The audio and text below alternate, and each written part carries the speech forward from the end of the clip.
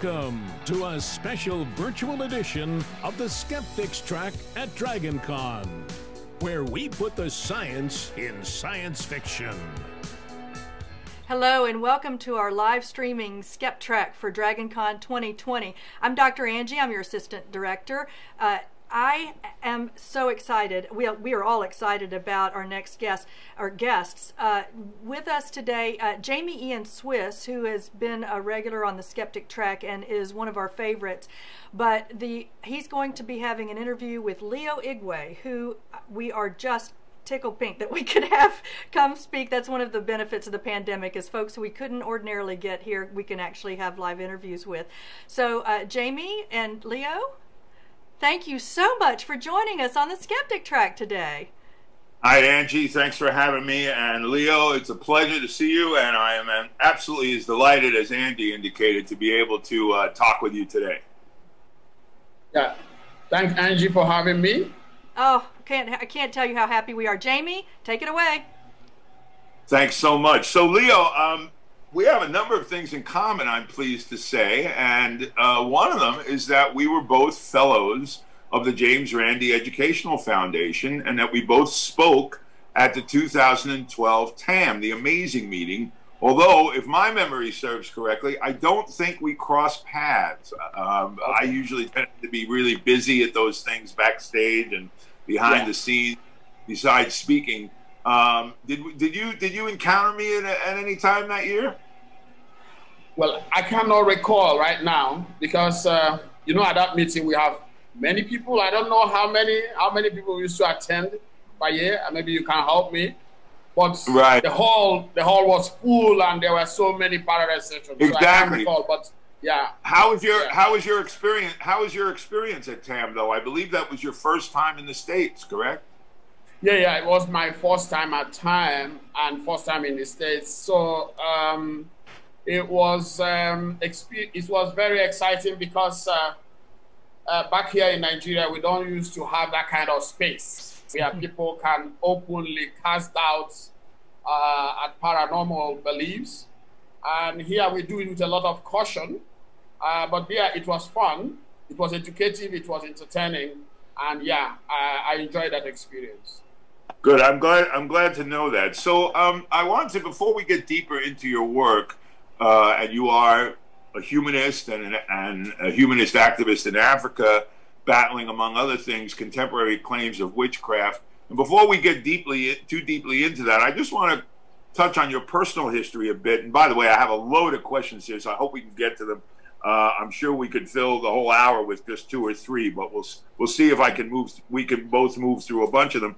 But you began your education in seminary with the intent of being a Catholic priest. And in your TED talk, you say, quote, something happened while I was studying in the seminary and training to be a priest. So what happened along the way that you ended up a humanist and not let's not mince words here, not just an activist for the scientific worldview, but explicitly for atheism?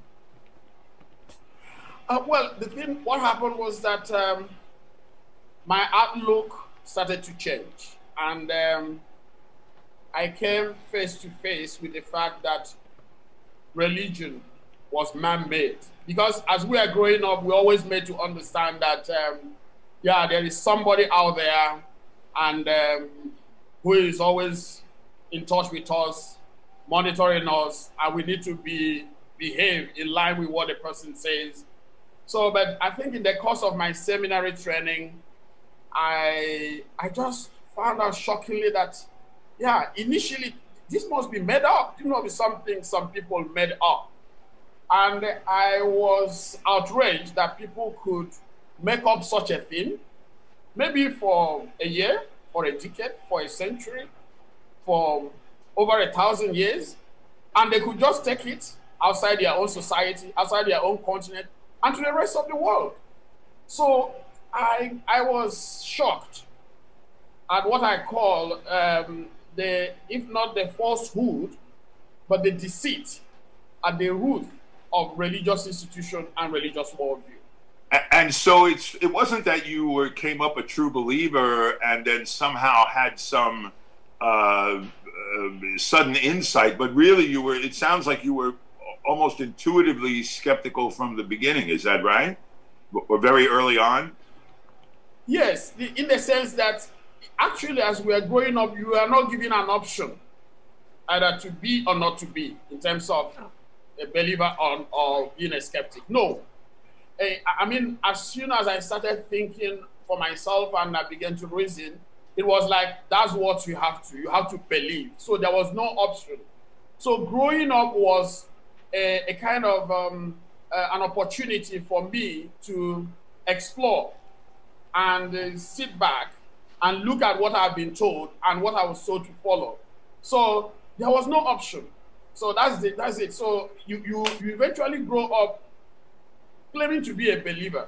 But of course, as you as one grows, you have to now own what you have been told, what you have been um, the way you have been told to, to behave and believe. So it was in the process of trying to ask myself, now what I've been told to believe, should I believe it? Am I really convinced? And that issues started coming up, and I found out that they were not adding up. And uh, there was a lot of confusion because uh, we have Christian belief, we have uh, Islamic belief, we have traditional belief. So as you are growing up, you are confronted with so many religions that are claiming to be true. so you cannot but ask questions. How can these uh, uh, different religious uh, belief systems that do not agree, how can they all be true? and sometimes right. they use violence, they use force, and they use all sorts of means to coerce you to keep believing even when you have doubts or when you disbelieve. Yes, well, Richard Dawkins says, you know, of all the different gods, claims for gods in different religions, there's only two possibilities. Either one of them is real or none of them are real. yeah, yeah, yeah, exactly. Um, yeah. So, uh, forgive me. I want to provide uh, take a moment here to provide a little context to my to my next question. Um, you know, the skeptic movement here in the in the in the United States uh, and in the West in general began the modern skeptic movement began with a focus on paranormal claims like phony psychics and uh, you know pseudosciences like astrology, and then expanded into uh, medicines, alternative, so-called alternative medicines like acupuncture and chiropractic and things like that. But if we go back in history, um, a classic Elizabethan text published in 1584 called The Discovery of Witchcraft by Reginald Scot which coincidentally not only is a classic Elizabethan text, but also is the first book to ever uh, explain magic tricks in English as a small chapter about magic. But it was not a book about magic, it was actually a book in 1584 intended to debunk witchcraft. Now, the author, Reginald Scot, he did not, he wasn't an atheist, he, he, he was sort of a free minded uh, Christian. Christian sorts. He did not um, completely declaim the existence of witches, but I consider the book a classic of skepticism because he what he was doing was was he was questioning the evidence that was being used to to burn literally burn women at the stake. Now, um, so to bring this to, to up to date to your work, it can be surprising to discover here in the West that if we're going to talk about important skeptic issues of concern to African countries in the 21st century, it seems like witchcraft is one of the most primary and damaging concerns. I've read that in two Niger Delta states alone, Akwa Ibom and Cross River, there have been hundreds of documented cases of children being beaten, burned, beheaded, doused in acid or boiling water, poisoned or buried alive. It's horrifying for me to even be saying these words as I say them to you. So, can you expand on this for us? And what do you think about the fact that in 2020, claims of witchcraft have been among your greatest concerns and focus points as a skeptic now for uh, at least a decade, if not more? Well, the the issue of witchcraft intersects with health management how people understand uh, health issues, how they explain the cause of diseases. Because before the introduction of what we call the orthodox medicine, people have re relied on herbal concoctions and rituals. And with these rituals, traditional healers try to divine the cause and eventually the cures for ailments. So believe in supernatural, spiritual cause, causes of illness, they predate colonialism and they predate the con- contacts with Western Christianity or Arabic Islam. So, but what happened is that now when these, um, when uh, the colonialists introduced what we call the Western medicine, or what we call, or I prefer to call it evidence-based medicine or modern medicine, as the case may be. Um, it also came with Christianity. So Christianity and Western medicine, they came out with this in the same package. So that while the colonial establishment tried to prohibit witch finding or with the use of witchcraft narrative in making sense of health issues and in explaining misfortune, colonial missionaries were also introducing Christianity that, uh, that also was promoting exorcism, demonization of the causes of illness, and sometimes of death. So, what happened is that uh, what the colonial officers removed in terms of witchcraft, the missionaries replaced it.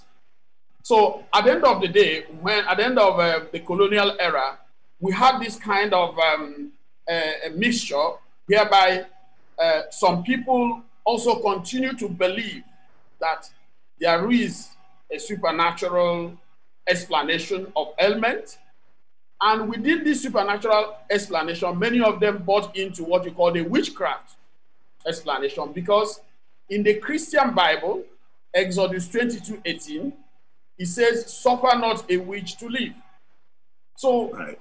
a lot of people connected traditional belief in witchcraft with Christian belief in witchcraft, which came with colonialism. So today, it is difficult to tackle the issue of witchcraft and the witch persecution without having some issues with Christianity and Christian teachings. So and this I think is how, yeah. I think people in the West would be surprised. I think people in the West might assume, if you hear about witchcraft and killing and torturing children in Africa, I think the, the mistaken assumption might be that this has to do with pre industrial, tribal uh, beliefs and religion and so forth. But in fact, this is fundamentally connected with Christianity in Africa. Yes, exactly. There is a fundamental connection and link with Christianity when it comes to witchcraft as it's manifest in contemporary Africa. And a lot of research has been done in Ghana, in Nigeria, that, that this research shows that the witch hunters now are not only traditional healers, but they are pastors or Christian prophets, ministers. Right. They are the one now that are championing this violent campaign of witch hunting and witch persecution. Exactly, and let's talk about that a little more because when when you say that you're you're battling witchcraft, what you're often battling in your case is so-called witch hunters, and uh, yes. this, I think the equivalent here in the West that we would be more familiar with would be faith healers in the in the yeah. Christian church, right? Yes. Who are widely known and often exposed to be con artists who take money uh, for phony claims, for paranormal claims, which is the ability yeah. supposedly to heal people. And there's a long history of this in the West. So it's a similar thing there in Africa, except that it's focused on witchcraft. And it's these kind of phony uh, con artist Christian ministers and Christian ministries that are really promoting this whole idea of witchcraft, right? Yes. Yes. So when you are dealing with witch persecution, witch hunting here, you are dealing with faith healing because um, witch persecution takes place within the context of faith healing. Because many of these witch hunters, pastors, imams, or malams, so it's not just Christian, it's also Islamic. There is an Islamic angle to it. So many of them claim to have the powers to heal through spiritual means. And in trying to exercise these spiritual healing powers, so called spiritual healing powers, they indulge in witch persecution, they indulge in what they call exorcism, In fact, at the moment, we are battling with a Muslim witch hunter in central Nigeria. Hmm. And um, yes, and so you mentioned also that that Islam has increasingly become a part of this as, as well. He says that Is, you know he. Uh, I'm kind of losing your connection there for a moment. Yeah, um, sorry. When I when I get a uh, call, the when I get a call, the oh, I the, see. The link I see. Yeah, yeah. I'm sorry. Pick up pick up on what you go back to what you were saying, please, about uh, the yeah. recent uh, is Islamic activities in this uh, area.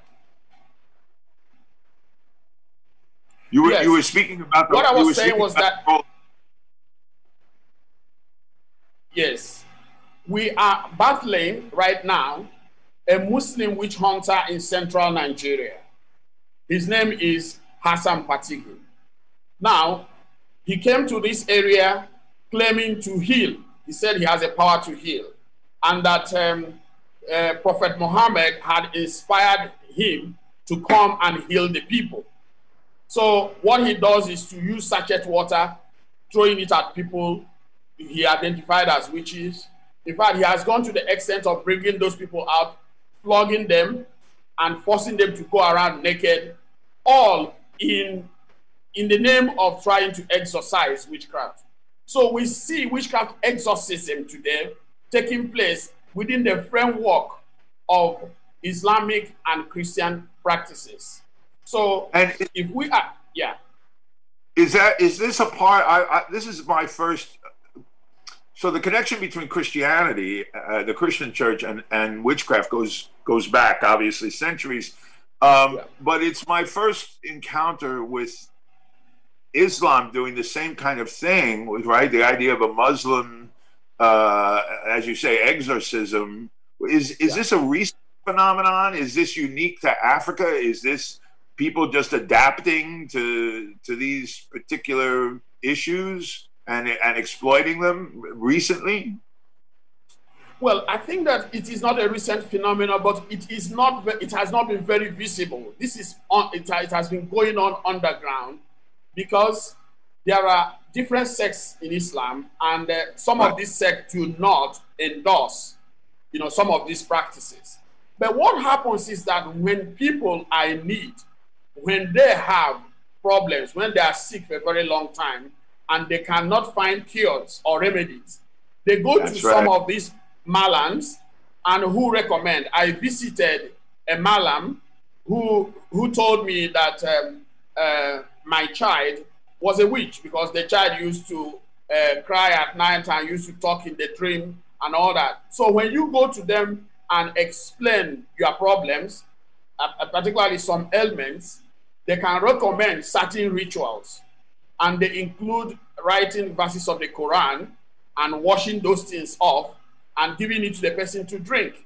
So they, they, there is both Islamic and the Christian layer of exercising witchcraft, and these are going on in contemporary Africa at the moment. Yeah, and of course, this is standard with Ameri- with uh, alternative medicine. Uh, alternative medicine often focuses on uh, chronic illnesses, that there are no easy treatments for chronic pain, things like this, things that you can get momentary relief from, uh, and, but that doesn't really go away. And whenever you look at any kind of marketing scam here in the West uh, for alternative medicine, it's always starting out do you have these kind of symptoms? Do you have chronic pain? Do you have blah, blah, blah, blah, blah? And it's the same thing that you see at a at a faith healing, for example, is you might get um, a little bit of you know some temporary relief just from the emotion of the moment of the situation and so on, uh, or the placebo effect, uh, and then it, it doesn't last. And that's always been the foundation of uh, of a lot of alternative medicine. I mean. Uh, homeopathy is a billion dollar business here in the West, a billion dollar business annually uh, for people buying uh, sugar water and sugar pills that literally do nothing. Um, yeah.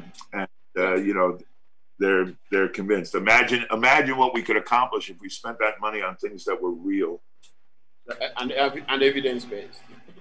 Yeah, and evidence based. Now, now, along with uh, what you're talking about in terms of chasing these people, Uh, in a particular case, uh, you have been for years chasing Helen Ukpabio, and she yeah. is one of these uh, witch hunters who is highly litigious and has filed countless lawsuits against you, ostensibly for libel and supposedly attack, claiming uh, that you're attacking her so-called freedom of worship, her freedom yeah. to believe in, in witchcraft.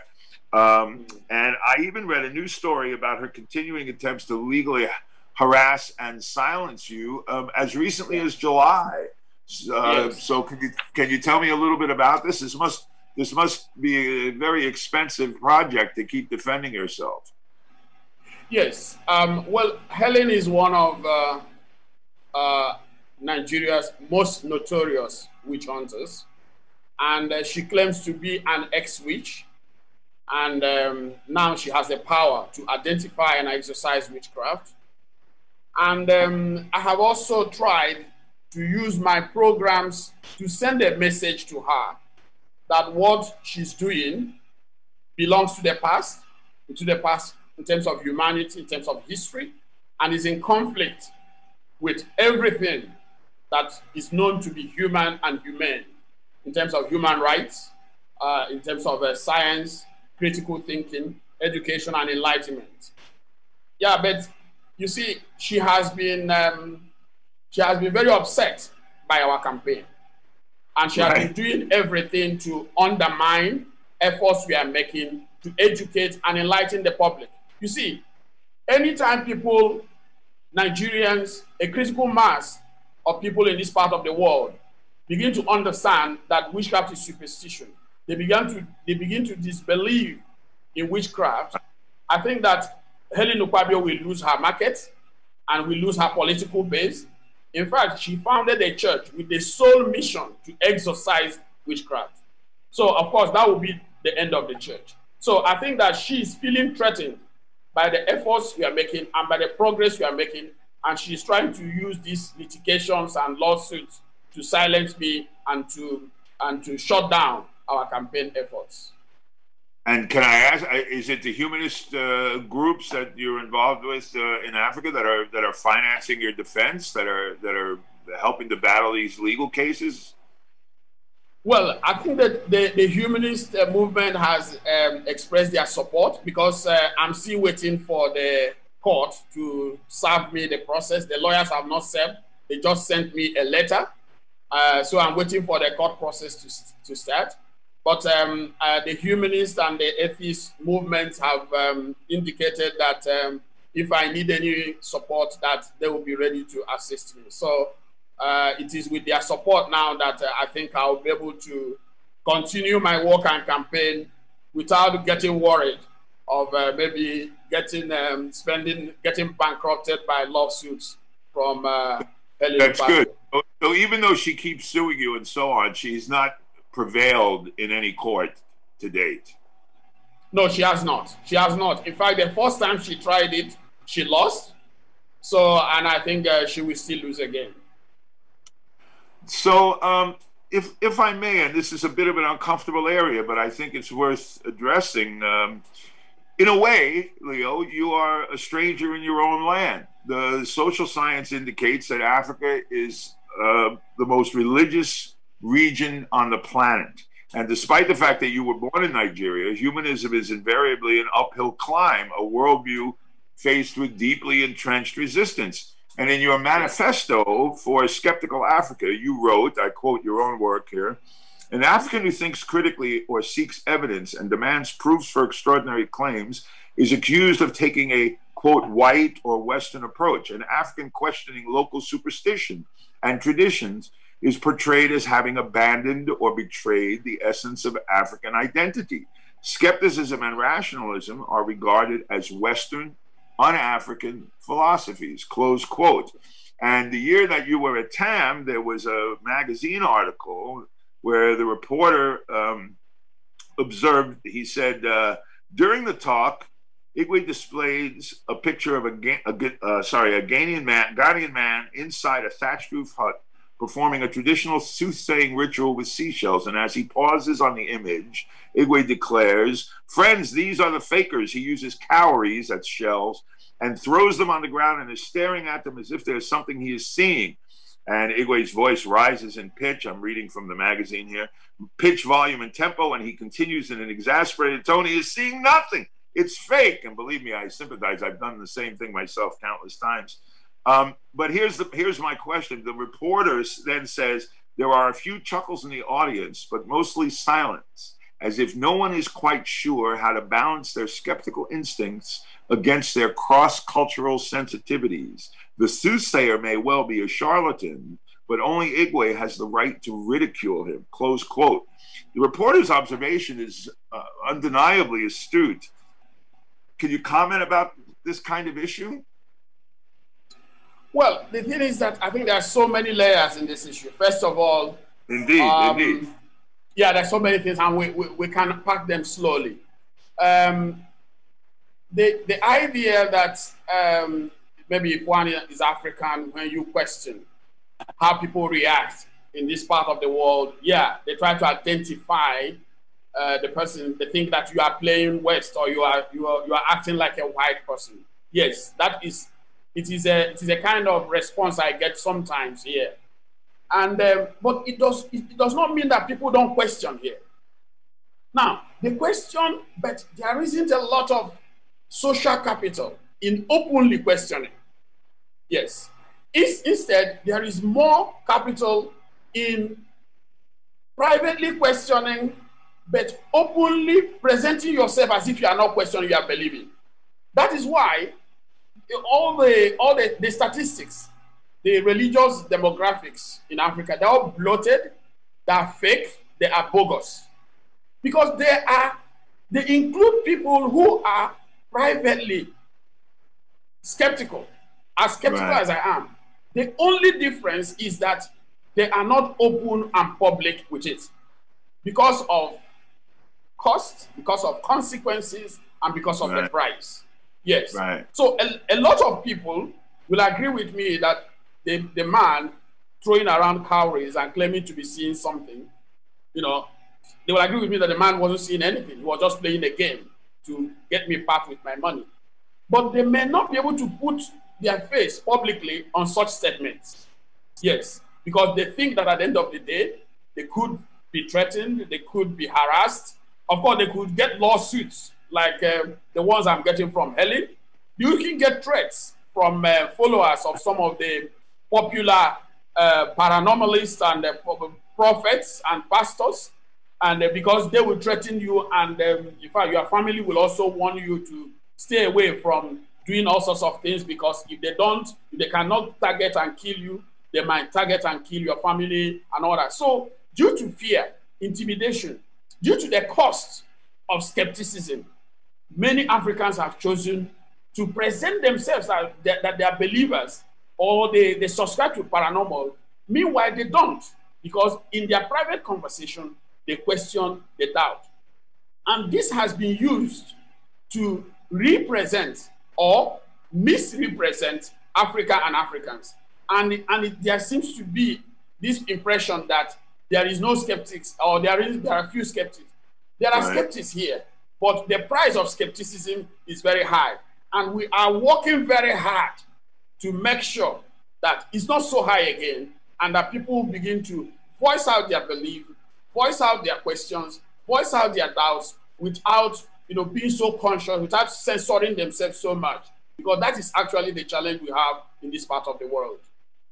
It's very, very interesting. So, uh, really, uh, as as much as you are battling this specific uh, enemies, if you will, of reason, these uh, witchcraft hunters and so on, in some ways, it's almost uh, your bigger battle, and perhaps even in some ways your more significant battle towards the future is to is against culture, is to try and create or recreate a culture where skepticism is can be more open and the scientific worldview can be more openly embraced by the common the common citizenry as well as governments. Yes.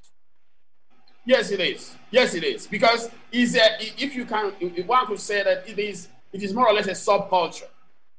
Is a covert kind of manifestation and expression, but that is not doing Africa and Africans any good.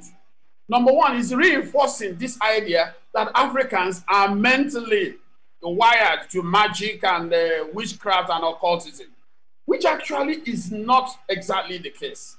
Yes, a lot of Africans are skeptical. A lot of Africans are doubtful. Uh, a lot of Africans question uh, miracles. If you go online today, the internet has opened the space for many Africans to question some of this openly, which they were not questioning before. So I think that at the end of the day, is is a, is a cultural war or battle.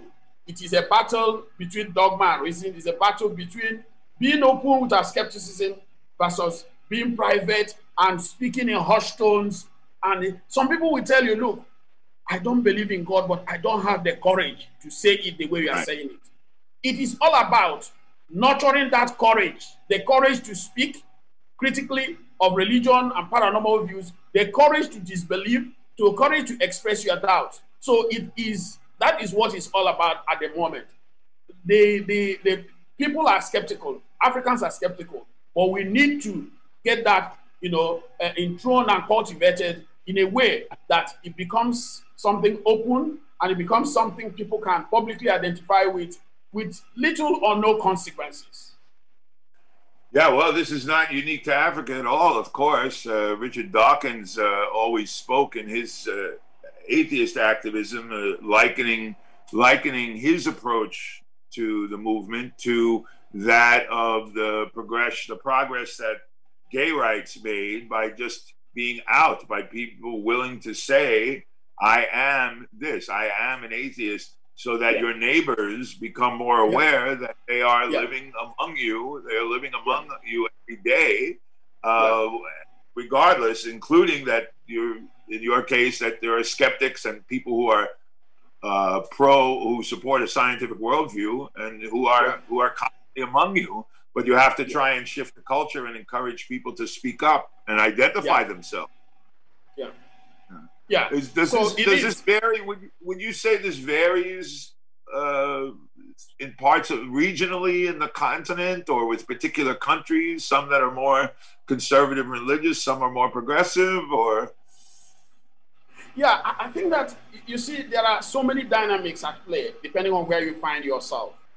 Like in, I must tell you that there is this kind of, um, um, should I call it either hegemonic or domino effects, religious domino effects. And by that, by this I mean Christianity and Islam. They used to they they, they react differently to skepticism and questioning attitudes.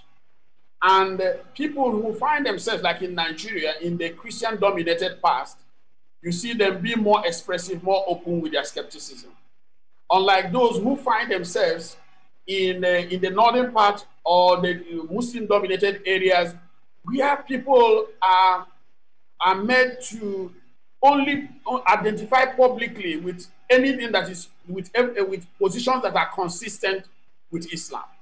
So I think that uh, for us in Nigeria, in the Muslim dominated part, uh, skepticism is, um, has a higher price compared to areas in the South where people are freer to express their minds, debate, and discuss, agree and disagree, and express their doubts with um, minimal you know, consequences, comparatively speaking. So I think that um, uh, the influence, the connection with Islam and Christianity is also a factor in deciding the extent that people express themselves openly in terms of their skepticism or critical thinking. Like, like I just want to say that if you are if you have to be very critical, make in Nigeria, you, you, you have to be sure you are not critical of something that Islam has endorsed if you are in the Muslim dominated areas. And uh, because of the totalitarian nature of the Islamic religion, many right. people who are critical there find it difficult, more difficult compared to those in the Christian dominated areas where they are freer to express their doubts and some, for instance, their position when it comes to evolution um, versus Christianity. You see people being very free to express their thoughts along this line if they are in the southern part than if they are in the northern part where we have uh, Islam. So Islam and Christianity, there are factors when it comes to the extent with which Africans express their skeptical rationalist views. Interesting. Uh, now, while you're battling witchcraft, which in the West we like to think of as an issue from 400 years ago that's no longer of modern concern, but when you talk about this culture war, if you will, this battle between, as you put it, uh, reason and dogma, uh, if I may ask, what's your perspective on the current state of affairs in the United States in terms of critical thinking and religiosity and the increasing socio-political and economic divisions in American culture and politics. Would you care to comment?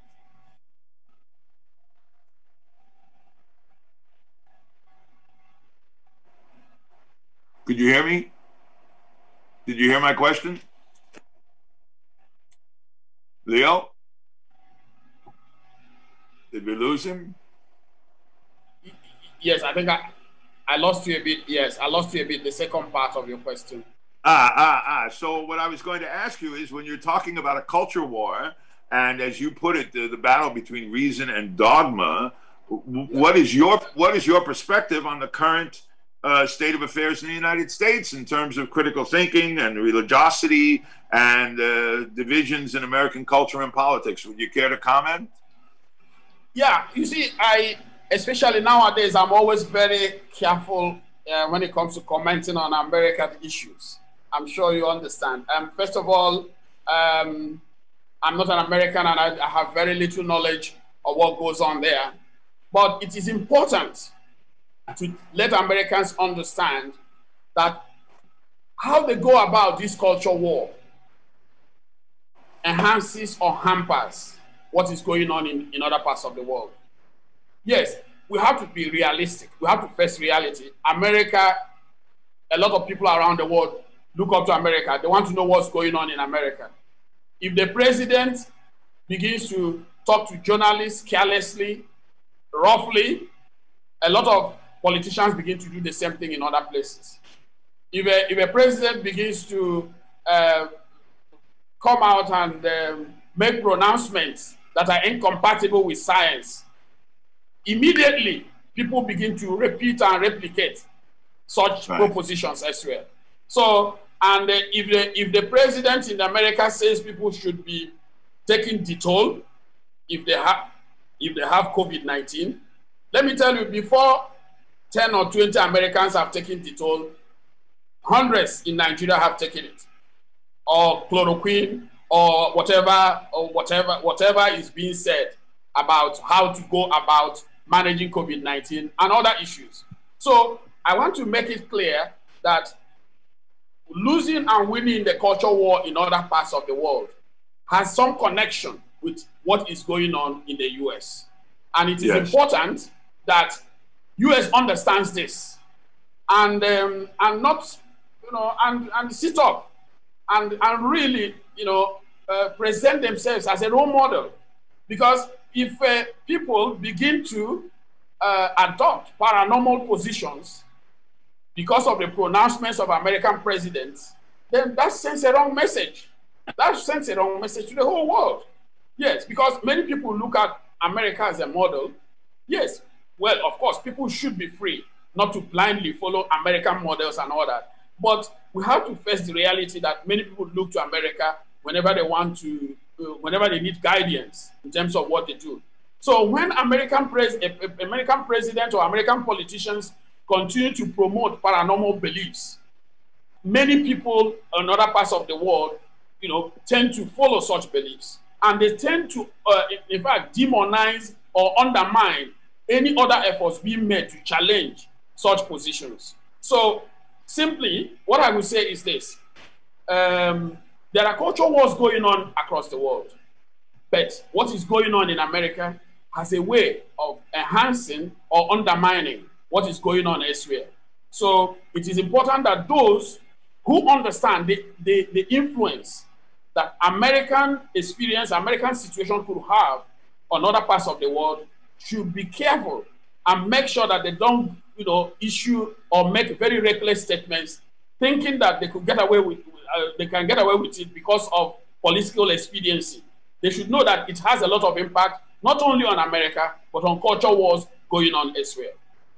Well, I'm glad I asked you the question because it's an excellent answer. And of course, there are many here who agree with you, and uh, many who are horrified at the fact that we have an anti science government uh, right now in Washington, uh, and that also that uh, America has been a world leader in, as you say, in many areas of thought, uh, from from international policy to just things like questions of science, uh, post World War II, and that when and now we have a an unfortunate experiment that when you abandon that leadership, it leads to to chaos in many ways and in many places because that leadership of thought is in many ways as significant as the need for leadership and action.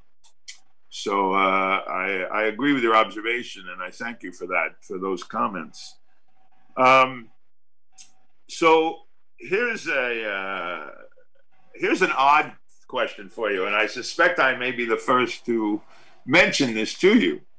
Um, but uh, in the March issue of Genii magazine, Genii magazine is the I'm a professional magician, and Genii's Genii magazine is the world's leading independent magic magazine. And in March, there was a cover story about a, uh, a professional uh, magician, a, a, woman named Lisa Menna, who in the last few years retired from her professional work here in the United States, created a nonprofit organization called Cause to Wonder and she has been active, uh, well, in a number of different places. From I think she started working in Papua New Guinea, but is now mostly active in Africa, working on women's rights and violence against women and so forth.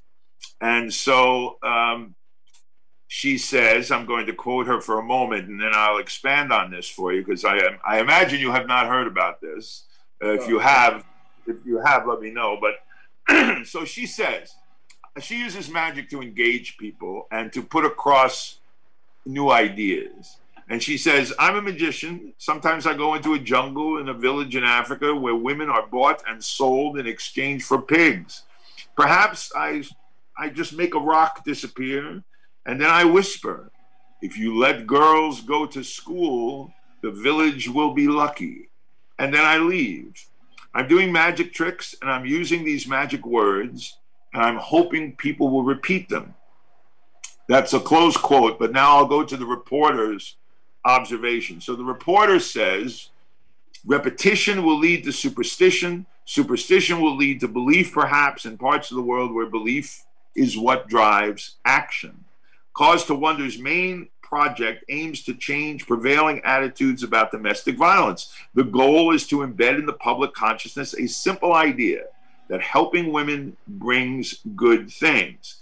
And they, the reporter adds that the message seeks to, that uh, Cause to Wonder seeks to spread also makes it crucial for Lisa Menna to dissuade her audience of the idea she is some kind of shaman or witch or healer. She doesn't claim that at all, but using these sort of magic words is she does talk in terms of sort of creating a superstition that hopefully will will carry and get repeated to try and break the pattern of attitude towards women.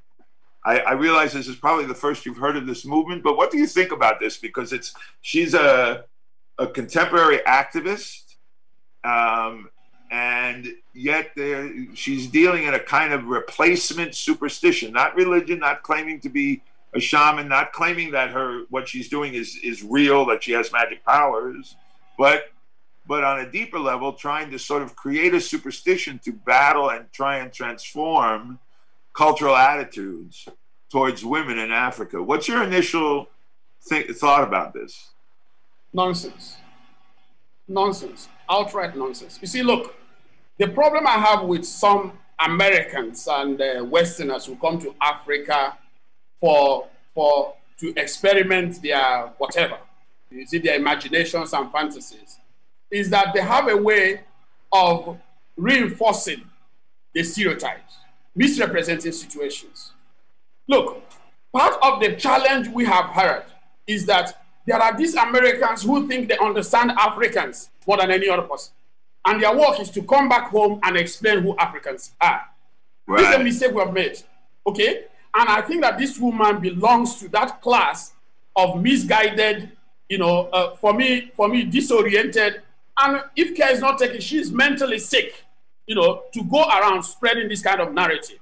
Look, there is this idea that oh something, some re replaced superstition is going to help us in changing cultural attitude is outright blatant nonsense. And people who are peddling it, they don't deserve to be quoted. They don't deserve to be honored in any way. Look, if you want to change an attitude, what, what attitude is that? You want a child to go to school. Get, go to the people, make them understand that there's a scholarship, there, is a, uh, there are finances that can enable the, the child to grow, and make them understand that there are, there are benefits, that are value adding, you know, uh, value adding opportunities for the girl. So all these things will help get people to take their, uh, uh, allow their other girls to go to school or, or they change their attitudes.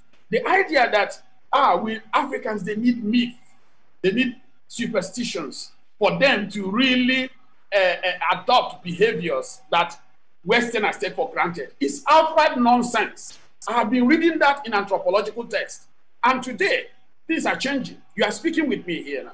I am having the same internet and I'll be able to I'll be able to log in and things like that. There isn't any ritual performed. The same way you signed in, you sent me the material. That's the way we I signed in. I'm able to, and anybody can connect, whether the person is in Papua New Guinea or is in America or anywhere. But some people, some some of your anthropologists will come here and said, "Oh yeah, but when it comes to Africa, you know, we need some rituals." You know, they are still, you know, trying to, you know, sell that that idea of Africans are there as, as those petrified by the occult, um, and that you cannot really make any meaningful progress unless you, you use the narratives of superstition, myth, and mysticism. I'm saying it is rubbish, nonsense completely. Set up schools, set up as you have them in the United States, connect them with societal growth, make people understand that there are benefits in educating their children, male or female. They will educate them you know, and stop selling this idea that continue to reinforce that notion of Africans as backward people and as magical people. So for me, what she has done is nonsense. It's completely and outright stupid, crazy, baseless ideas. Those are narratives that people privilege in, in areas where people have not traveled and interacted. I have lived in the West, and I have, I'm also an African, and I can make comparisons. There are structures in, in Germany, in Europe, and America that are not uh, that are, not available here. Replicate those structures here. People will behave. We, human beings are the same. It's all about how we are cultured and cultivated.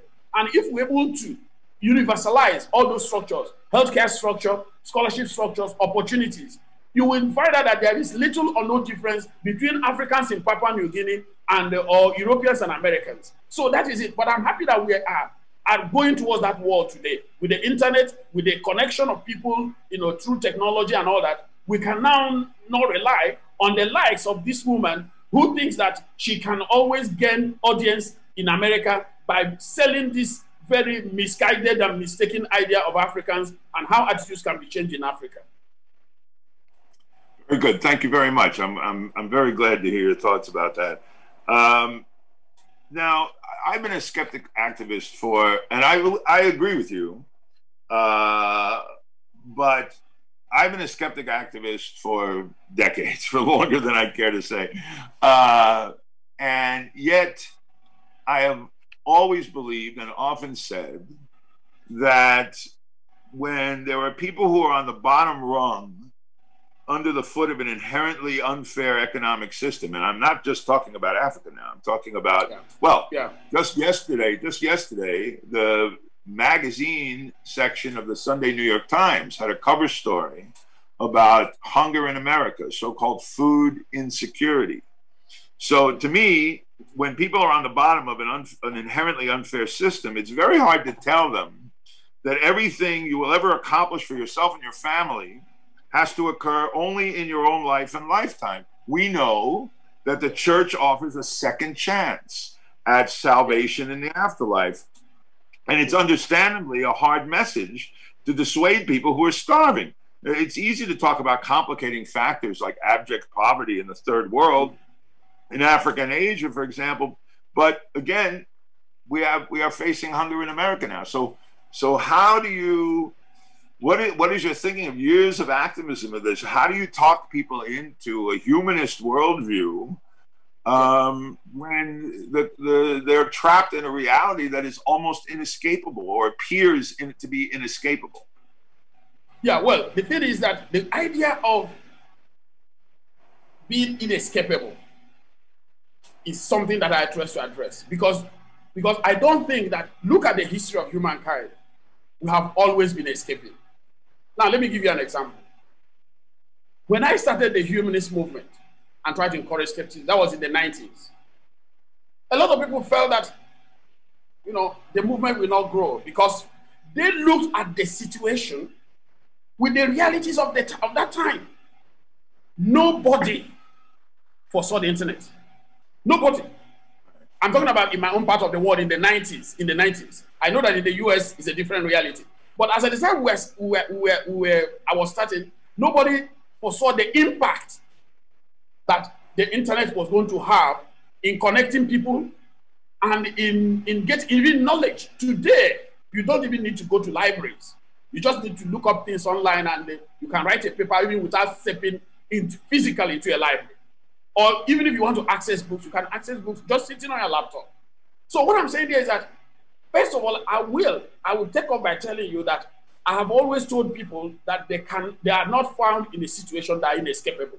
We continue to escape, yes, but and it is important to give people some hope based not not not the kind of hope of uh, oh you are going to escape by going into heaven and um, uh, wearing white cloth and enjoying forever with a spirit. That, that's nonsense.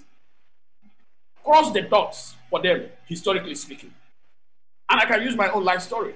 Yes, I wasn't I wasn't born in a rich family. My you know my parents, my, my, my father was a teacher. My mother used to sell things in the local market and all that. And I followed her to sell chicken and a few things in the local market. But here I am today. Okay? And I've been able to I've been able to have a first degree, second degree. I, I, I went for uh, my doctoral degree and all that. And, uh, and, and today I look back and tell people, you can become, you can become who I am. You can, you can, you can also, well, if you are born in the village, you can end up being a, a skeptic uh, leader, a humanist leader. You can also be hold a doctorate degree. You can conquer poverty. You can overcome. Tell me, the thing here is that this message we must continue to emphasize this. People can overcome their situations. I do not buy into the situation because my life doesn't even tell me that people cannot overcome. No, I tell them I want I, I want to spend the, the next decades of my life going back to the primary school where I, I where I started to tell them, I said, look, you can finish here, have a first degree, have your doctorate, come back and be a known person. Even you can even be better than you know what I am, or become you know something better than who I am at the moment.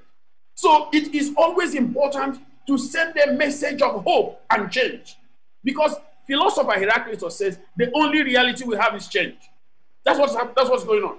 And look at it, that's the case. So it is important, like I said, we send a message that people are not condemned and damned, you know, you know, to a particular situation, that they can change it and they can change it using their own efforts and that their efforts can pay. Give the people that sense of power they need, which they, they deny them by telling them that there is an Almighty who has all the power. Let's give it back to them and let's try. That is how humanity has always got, came out of the cave. That's how they, they, they, they got implement. And that is why today we are going to Mars. Humanity is going to Mars already because we know we can always overcome. We can always move beyond our situation. For me, this is where the message starts. And with this, people are receptive to all your views, whether they are skepticism or critical thinking Thank you. the wonderful insight uh, and perspective to to present um, why humanism is the truly hopeful worldview and the optimistic worldview, uh, as opposed to trapping people in the sense of uh, of uh, their in supposed inability to escape, the way people are trapped in in religious beliefs and superstitious beliefs uh, that really uh, were the only the only method of escape that's given is an imaginary one, yeah. uh, as opposed to the real one that, as you say, your own life is a perfect uh, evidence of. Uh, so, uh, just a little bit more on this, and as we as we're drawing to a close here, um, in your manifesto for Skeptical Africa, you wrote, "Charlatans operate out there in their communities. They mine popular fields." Fears and anxieties, exploiting desperate, misinformed folks well, we see that in the United States too. You say we need to expose them and free our people for the, for the, from their bondage. Um, in the TED Talk, you say, but we cannot accomplish all these goals by wishful thinking with our eyes closed or by armchair speculation or by expecting salvation from an empty sky, just as you were just saying. And also in the manifesto, you wrote, they need to be told that the skeptical goods the liberating promises of skeptical rationality are by far more befitting and more beneficent to uh, Africans than imaginary rewards, either in the here and now or in the hereafter. So I will ask Will exposing charlatans change the population's mind about their fundamental beliefs? And what do you propose and what do you see as the future for promoting the scientific worldview in Africa? And we have about three minutes. Okay, well, the thing is that will exposing uh, charlatans would that change people's view? I say yes. And again, it is important we, we, we, we don't just shoot ourselves on the foot, you know, by saying, you know, by having this very gloomy, pessimistic outlook. I say yes. Now, let me give you an example. Uh, following the outbreak of COVID 19, one of the local pastors and faith healers came out and said that he could heal COVID 19 patients. And he was asking the government to allow him into those isolation centers. Wow. Now, what I did, I challenged him. I told him, okay, I'll give you, I used the James Randi model to challenge this pastor. I said, okay, for every patient, I'll give you a thousand dollars if you can heal just one patient. And at a point, he responded. I told him, okay, I will increase it to $5,000 for a patient. If you can heal one COVID 19 patient, get $5,000. And you know what happened? People, st- it was that, that um, challenge trended. It was trending on social, it trended on social media for days wow. and weeks. And people were now calling, people were asking, a lot of people were like, okay, yeah, you know, we know that the guy is a charlatan, this and that and that and that. So we start, people started having the discussion. For weeks, this was on. And now we have got to the pastor again. So if you ask me, will challenging them, will it change mind? I say yes. But you see, it is difficult to measure. But from my end, I will tell you that people will begin to ask questions. And the change comes when, you know, or could be stimulated by getting people to question beliefs they usually take for granted. So I think that there is a lot that will come if we begin to challenge them. Because a lot of people are tired, a lot of people are frustrated. And I get stories of people who say, look, yes, this guy exploited, this faith healer did this to me, this pastor did this to me, because they, they mind people's gullibility. So I think that minds will change. And now, do we have a challenge of promoting scientific outlook in Africa? Yes, we're going to have that challenge. But, but life is all about confronting challenges. Now, but when we think about it today, look at all we have gotten as a result of science, including the mechanism we are using to speak and interact today. Look at all the cures for, for diseases. We are all we are waiting for scientists. We're not waiting for paranormalists. We're not waiting for, right. for, for faith healers to provide the vaccines that can help us manage the pandemic. So, so what I'm saying, the hope still lies on promoting and, uh, and fostering and furthering the scientific outlook. So it is hard, but it is never easy. Yes, humankind has not gotten this far by doing things that are easy, but by doing things that are hard. So the, this advancing scientific outlook is not going to be easy. It's going to be challenging. But there lies the hope, the real hope for African Renaissance, African emancipation, and humanity enjoying and making the best of this one life that we have. Well, I couldn't agree with you more, and I celebrate you, Leo, and I celebrate your work, and you are an inspiring, a truly inspiring example of the skeptical outlook and the scientific worldview at work on the ground, uh, changing changing the world. And it's a privilege to talk to you. And thank you so much for giving us this time today. Yeah. Also, thank you for having me. A pleasure. A pleasure. Angie. Oh, Jamy, I wish y'all could have gone on for two more hours. That was so, I could watch y'all talk all day long. Thank you so much, both of you, for joining us. We were talking sort of behind the scenes, thinking, wow, this should be like an annual thing that, that we give y'all two hours every year to fight it out. I just, I love the points that you made, Leo. I really want to know what can we do? How can we help you in your fight? Tell us what we can do. No, no, no. You see, what you have done now is very important. Giving us a platform. I want to let you know that here in Nigeria, we don't have that platform. Yes. Because a lot of people feel offended. Because at the end of the day, in promoting critical thinking, in promoting uh, scientific thinking, it, it will always have to do something with people's religious sensibilities. So they see you as somebody who will provoke or annoy or offend them. So we need platforms. That's what we need at Done. the moment. Done. Yes. So and thank you for giving me this platform. And that's what we need because when we have this platform, we get our story out. We get more people to understand that yes, that if you hold critical, if you hold critical views, if you uh, espouse the scientific outlook, you are not uh, isolated, you are not quarantined, you are not uh, a kind of um, um, how do you call it, somebody that is not allowed, you know, banished or something like that, treated as if you you don't matter. So it is important, you know, we get platformed, we we have uh, opportunities like this to speak. Let me just tell you this briefly.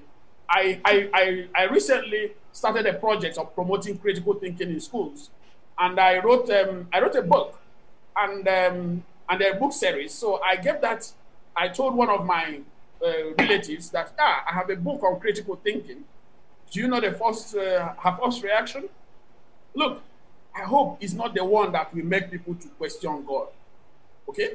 Now she has not read the book. She doesn't know what is inside Right. it. Oh, Okay, good. So there is that bias.